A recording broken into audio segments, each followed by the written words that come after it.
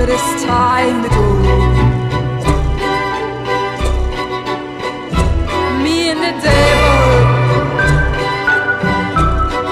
walking side by side.